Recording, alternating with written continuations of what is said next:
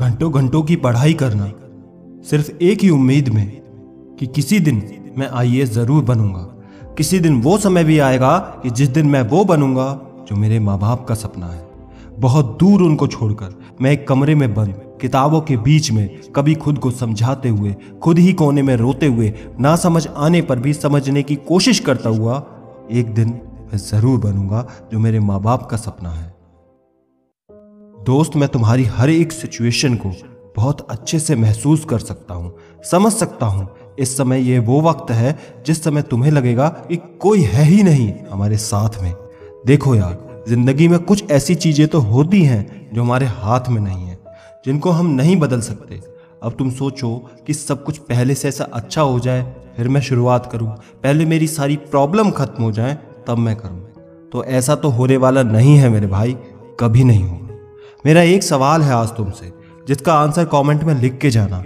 क्या तुम इस समय खुद पर विश्वास करोगे, या फिर जो दूसरे तुम्हारे बारे में सोचते हैं, उस पर विश्वास करोगे? क्या तुम उन लोगों पर विश्वास करोगे, जो कह रहे हैं कि तुम एक फेलियर थे, हो और रहोगे? ना ही तुम्हारे साथ कोई था, और ना ही तुम्हारी कोई परवाह करता है। मेरे दोस्त ये लोग उस तरह के होते हैं जो तुमसे पूछेंगे कि तुम कैसे हो। और तुम अगर कह दोगे कि मैं ठीक हूँ तो विश्वास भी कर लेंगे। किसी को नहीं पता चलेगा कि तुम अंदर से कितने टूटे हुए हो।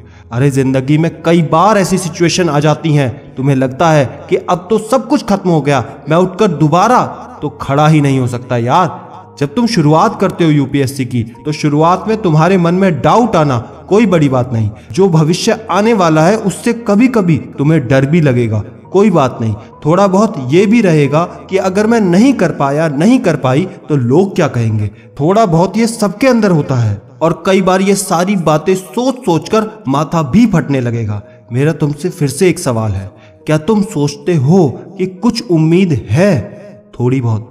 मैं तुमसे पूछता हूँ कि अगर तुम सौ बार फेल हो जाते हो या सौ बार फेल होने के बाद भी रिज़ल्ट नहीं आते, क्या फिर तुम दोबारा नहीं उठोगे? बिल्कुल उठोगे। पहले भी उठे हो और आगे भी उठोगे। क्योंकि तुम्हारे मन में पता होना चाहिए कि हार को हार मान लोगे, तभी हार है। जब तक अंत नहीं, तब तक मैं छोड़ूँगा नहीं। जब तक मैं छोड़ूँगा नहीं, तब तक कोई अंत नहीं। मुझे नहीं पता कि तुम कितने अटैम्प्ट दे चुके हो। मुझे नहीं पता कि ये तुम्हारा पहला अटैम्प्ट है। लेकिन अब अगर तुम यहाँ तक पहुँचे हो तो बस इतना ही काफ़ी है तुम्हें यह समझाने के लिए कि तुम दोबारा से उड़ सकते हो। आज मैं तुम्हें चैलेंज करता हूँ, उठ जाओ।